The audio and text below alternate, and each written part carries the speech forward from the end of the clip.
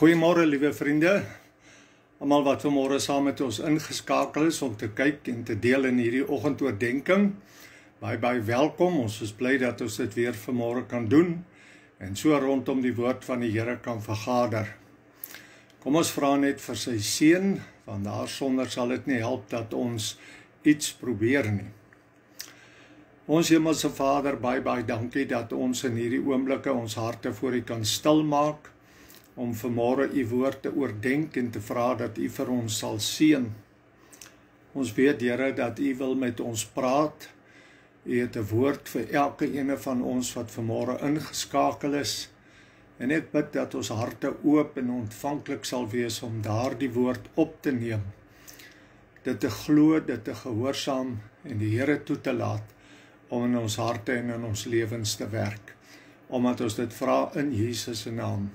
Amen.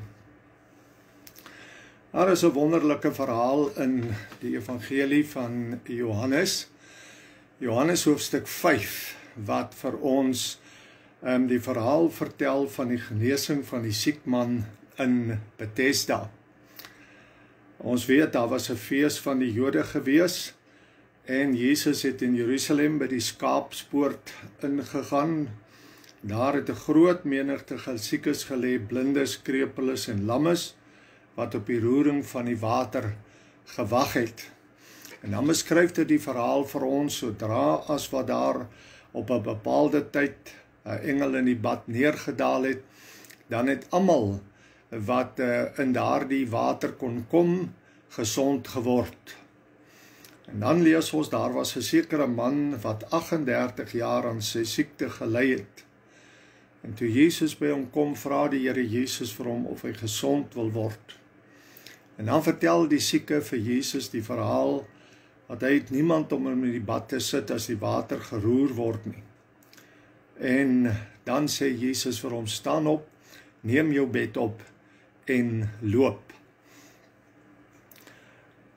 Nou jy weet soos wat 'n mens in 'n hospitaal ingaan en jy verby die sale en die kamers loop en jy mense daar siek sien lê en dan besef 'n mens net wat 'n voorreg dit is om gesond te kan wees.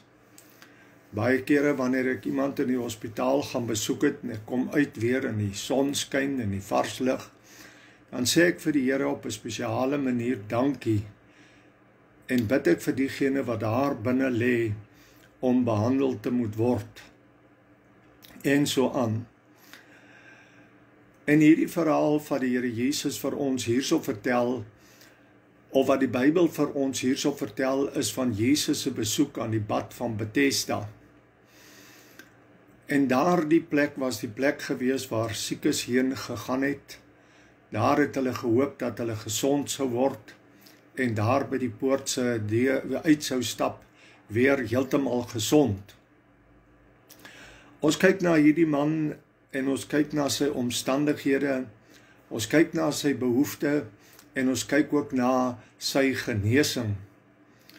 Nou sy omstandighede was gewees dat hy daar omring was deur siekes. Ons sien hierso dat die Bybel vir ons sê daar was blindes, daar was lammes, daar was krepeles. En hierdie man was omring gewees deur hierdie mense wat daar gelê het. Nou ja, daar is baie dinge wat ons in hierdie lewe kan sê waardeur die mens omring word. Daar is die geestelike blinde mense, daar is die geestelike lam mense, daar is die geestelike kreupel mense. Mense kan geestelik blind wees sodat hulle nie kan sien hulle toestand nie. Ook nie waarheen hulle op pad is na in die ewigheid nie.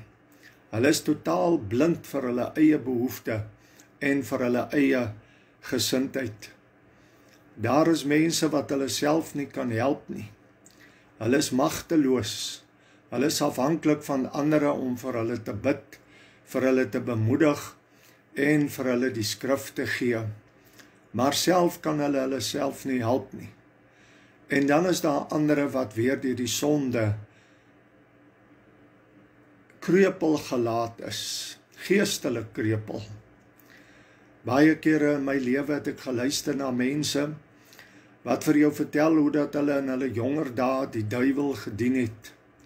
En as gevolg van al daardie sondes wat hulle gedoen het, het hulle letsels opgedoen. Baie mense wat verslaaf raak aan dinge, kan jy jare daarna nog sien die gevolge van daardie lewe wat hulle gelei het. Man het eenmal aan my erken dat hy geweldig baie met sy longe ly, hy sukkel. En dan het hy vir my vertel hoe dat hy in sy jonger dae gedrink het totdat die um, bottelstoer toemaak, die kroeg toemaak. En daar het hy dan in sy dronkenskap huis toe gegaan. Partykeer het hy neergeslaan en dan het hy die hele nag daar in die bittere bittere bittere koue gelê. En sy gesondheid is verwoes, sy gesondheid is vernietig omdat hy self daardie dinge oor hom gebring het en dit het hy ook erken. Ek het al saam met jong mense gebid wat as gevolg van 'n onbesonde lewenswyse die kosbaarste goed wat hulle gehad het verloor het en hulle net maar eenvoudig kan aanlewe met die letsels van dit wat gebeur het. maar in die tweede plek vind ons dat hierdie mense ook onderworpe was aan geluk Dit sê vir ons hierso dat wanneer 'n engel in die bad gaan en die water roer, die ou wat eerste daar inkom, word dan gesond. So almal het gereed gesit as die water geroer word, dan het hulle hulle bes gedoen om daar in die bad in te kom en gesond gemaak te word. Dit was 'n dobbelspel gewees. Vandag is dit jy, môre is dit iemand anderste of dalk kom jou kans nooit. Hulle genesing was op 'n dobbelspel geplaas. En hoeveel mense in die wêreld is daar nie vandag nie wat rondloop en hoop daar sal vir hulle 'n verandering kom. Miskien eendag as hy met iemand anders getroud is, sal hy die Here kan dien. As hy 'n ander werk kry, sal hy die Here kan dien. As hy ryk word, sal hy die Here kan dien. Ja, as hy uit hierdie dorp uit wegtrek, hierdie nes, dan sal hy die Here kan dien. Maar die probleem is baie mense verander. Hulle verander van kerkverband. Hulle verander van dit, hulle verander van dat in die hoop dat hulle 'n sekerheid van saligheid sal kry. Maar godsdiens kan nie op dobbelspel wees nie. Dit kan nie daarop wees dat ek myself my bes doen of dink eendag as ek soveel geld gegee het, dan sal die geluk van sekerheid van saligheid na my toe kom nie. In die tweede plek sien ons hierdie man se behoefte. Die tydperk wat hy daar is. Dis 'n baie baie baie lang tyd wat hy al daar lê. Ons kan miskien vir onsself indink dat hierdie man gebore is nie lank na sy geboorte nie het hulle opgemerk daar is fout met hom sy bewegings is beperk hy vorder nie soos ander kinders nie Miskien het hulle na geneesheere toe gegaan en die geneesheere het hulle vrees en kommer bevestig dat hierdie ouetjie lam is en nooit sal loop nie. Hulle dit probeer, hulle dat probeer en uiteindelik het hulle hom na hierdie plek toe gevat met die hoop dat hy gesond sal word. Daar het hy gelê al die jare tussen al daardie mense. En wanneer Jesus vir hom vra, "Wil jy gesond word?" Dan kyk hy miskien verbaas op na Jesus toe. Miskien kyk die om mense wat om hom lê en hulle lag. Wat 'n ou is hierdie wat vir 'n sieke vra of hy gesond wil word? Wie wil nie gesond word as jy siek is nie? en dan kom die agtergrond van dit alles. Die vraag wat Jesus vir hom vra: "Wil jy gesond word?" En wat doen hierdie man? Hy antwoord dadelik vir die Here Jesus: "Ek het niemand om my in die bad te sit nie." As ons na sy agtergrond kyk, dan sal ons vanmôre vir onsself sê hy het daar ingekom Hulle het hom neergesit en gesê jy moet jy moet jou oë oop hou. As die water roer, moet jy spring om in te kom. Dalk het sy ouers elke dag hom kom besoek of eenmal 'n week kom kom besoek, later eenmal 'n maand. Later eenmal 'n jaar en later langer. Later is sy ouers dalk oorlede. Die kennisse wat hy gehad het, is lankal op ander plekke en weg en hy het in hierdie plek van siekte en elende alleen agtergebly. Hy sou miskien vir Jesus gesê het: "Kyk na my.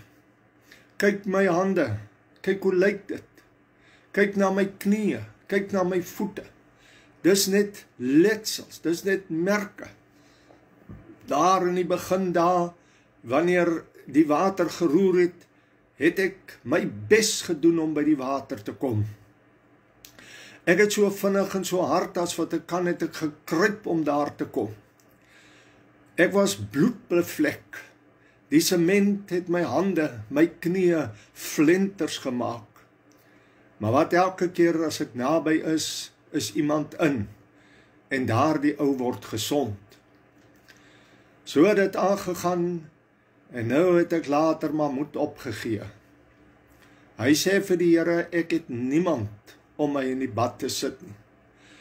Ek lê al 38 jaar hier. Van die mense wat hier was toe ek hier gekom het, is baie al dood. Een of twee, drie is weg, hulle het gesond geword. Maar ek het moed opgegee. Ek het gelos want ek het besef ek gaan dit nooit maak nie. Ek is te te gestrem om in die water eerste te kan kom. Nou is hier 'n klompie van ons wat al baie jare hier is. Ons sit maar hier en dan hou ons dop. Die ouetjies wat nog vol hoop kom en kyk of hulle eerste in die bad kan kom.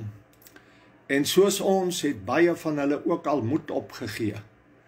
Want hulle weet hulle sal nooit weer kan loop nie of gesond kan word nie of kan sien nie. En jy weet, miskien is daar baie mense vanmôre. En u sê vir uself ek het niemand. Daar jare gelede het ek probeer ek het die Bybel hard gelees. Ek het gereeld kerk toe gegaan, ek het goeie werke gedoen. Maar wat het dit my niks in die sak gebring nie. Ek moes altyd maar net wegkeer en aanvaar dat ek sal nie 'n kind van God wees nie. Ek sal nie 'n oorwinnende kind van die Here wees nie. Ek sal nooit soos ander vrugbare Christene kan wees nie. My lot is maar geseël. Hier sal ek bly net maar altyd uitroep ek ellendige mens. Wie sal my verlos van hierdie liggaam van die dood? U het miskien moed opgegee. Want u sê ook vanmôre ek het niemand Ek het niemand wat my kan help nie. Jare terug het ek nog mense gehad wat vir my tekste gegee het, vir my die Bybel uitkom lees het, wat my kom besoek het en saam met my gebid het, wat my bemoedig het. Maar een na die ander is hulle ook nie meer daar nie. En ek het alleen agtergebly. Gebly hier waar ek nou is en ek het moed opgegee om ooit geloofsversekering te hê om ooit geesvervulling te ervaar en die Here te kan dien. Ja, dis 'n tragiese ding wanneer 'n mens daar gekom het, wanneer jou moed gebreek is, jou geestelike moed gebreek is. Maar in die laaste plek lees ons van sy genesing. En daar is 3 dinge wat vir ons hier baie duidelik opval. Sy genesing was onmiddellik gewees. Sy genesing was radikaal gewees. Sy genesing het sy probleme opgelos. Nadat hy nou hier vir die Here Jesus gesê het, ek het niemand nie. En onderwyl ek kom, gaan 'n ander een voor my in sê die Here Jesus vir hom: "Staan op. Neem jou bed op en loop." En daar het 'n doodse stilte gekom toe hierdie woorde na die man gespreek word. Wie praat so? Wie is dit wat die dinge sê? Dis mos roekeloos. Maar ek wil vanmôre vir u sê dat daardie man het miskien vir 'n paar oomblikke stil gebly. Sy oë toegemaak, sy kop gebuig. En hy het vir homself die woorde wat nou so pas vir hom gespreek is oordink. Wat staan op, neem jou bed op en loop. En toe sit hy sy geloof in aksie. Hy druk met sy hande op die sementvloer. Hy voel daar's krag in sy hande. Hy gaan op sy knieë en hy voel daar's krag in sy knieë. Hy begin homself op te lig en hy voel daar's krag in sy enkels en in sy voete. En stadig maar seker begin hierdie man homself regop te lig. En daar staan hy. Verbasing gryp almal wat rondom hom is aan. Hy staan. En Jesus het gesê neem jou bed op. En hy buig af. Hy vat sy bed. En daar begin hy toe te loop. 'n Wonderwerk het plaasgevind. Want jy weet vir God is dit altyd nou. Daarom sê Johannes 1 vers 12 vir hom aan almal wat hom aangeneem het, aan hulle het hy die mag gegee om kinders van God te word. Hy gee jou die mag om 'n kind van God te word. Jy moet dit deur geloof aanvaar. Jesus sê: "Vanmôre vir u wil jy gered word." wil jy met die Heilige Gees gevul word. Hy wil dit nou doen want by die Here is die tyd altyd nou. Maar hierdie man se genesing was radikaal geweest. Redding, wedergeboorte, vervulling met die Heilige Gees is radikale ervarings. Hy kon stap Hy het weggestap. Hy het die ou lewe agtergelaat. Daar het 'n verandering by hom gekom. Hy het 'n nuwe mens geword. Johannes sê nie vir ons wat het van Jesus geword of wat het van die ander ouens wat daar was geword nie. Hulle moes verbuisterd gewees het. En daar stap hy weg. Hy stap in die straat af. En die Jode kry hom want dit is Sabbat. Hulle sê vir hom: "Wat bekeer jy om op die Sabbatdag jou bed te dra?" En hy sê: "Maar die man wat my gesond gemaak het, hy het vir my gesê: "Neem jou bed op en loop." Die Jode het dadelik snif in die neus gekry. En toe sê hulle vir hom: "Luister, wie is hierdie man wat vir jou dit gesê het?" Maar die man wat gesond geword het, het nie geweet nie. Want toe hy opstaan, toe is Jesus weg. Toe hy uitstap, was hy natuurlik so bly dat hy die Here, dat hy gesond geword het, dat hy nie amper gedink het aan wie dit aan hom gedoen nie. Jesus het hom verwyder. Maar omdat dit Sabbat was, het Jesus hom na die tempel toe gewend. En daar kry die Jesus hmm, kry die hmm. kry Jesus die man ook. En daar sê hy vir die man: "Ehm um, jy het gesond geword. Moenie meer sondig nie. Sodat daar nie iets erger met jou gebeur nie." Nou hier is twee belangrike waarhede. Die eerste ene is jy moet verander. Ja, as ek die Here Jesus leer ken as my verlosser, dan gaan ek Sondag kerk toe. En ek gaan bid hier toe. Ek gaan nie viswaters toe nie. Ek gaan nie hierdie kant toe nie, ek gaan nie daardie kant toe nie. Ek gaan na die huis van die Here toe. want daar is die Here Jesus wat my verder kan onderrig. Die tweede ding is hy het verander. En die derde ding is almal kon dit sien. Daar is nie eintlik so iets soos 'n geheime bekering nie. Want as jy tot bekering gekom het, gaan ander dit in jou lewe sien. Hulle gaan merk God het iets in jou lewe gedoen. As die Here jou hart reinig en hy vul jou met die Heilige Gees, dan sal jy duidelike verandering ondergaan en mense sal dit raak sien. Hulle sal weet die Here het vir jou iets gedoen. Jy verander. Jy sit nie meer tussen daardie ouens daarbo nie. Jy is 'n nuwe persoon, 'n veranderde persoon wat almal kan raak sien. Die ou dinge het verbygegaan. Kyk, dit het alles nuut geword.